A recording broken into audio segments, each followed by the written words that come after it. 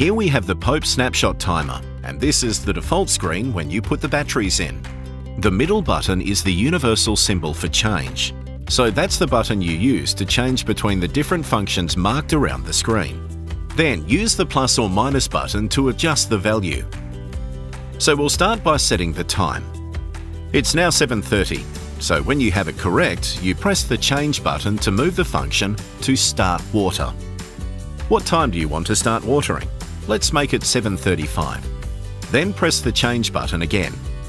How long do you want to water for? You can select any duration from 1 to 360 minutes. It's a big garden, so I want to water for half an hour. And how often do I want to water? You can choose anything from every hour an hour as an example. I'm going to select every 4 days. Then it goes to auto, it's all the way around and we're ready to go. It will also tell you next start time. And there's a battery life indicator down the bottom. There is also a rain delay feature, so if you push the plus button while the arrow's on auto, you'll bring up the delay menu. If you know it's going to rain for 3 days, you can adjust set the delay for 3 days with plus and minus buttons. Quite often with this model, someone will press the plus button and enter the delay mode while it's in auto, which pauses all other functions of the timer.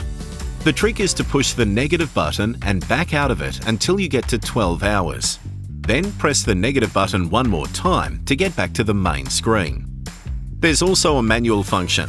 Just press the manual button to turn that on or off. You can water for up to 360 minutes. Adjust the time up and down with the arrows. You may need to wait up to 5 seconds. Then you'll hear a click and the tap icon will appear on screen to indicate watering has begun. You can reset all settings by holding the change. It's as simple as that.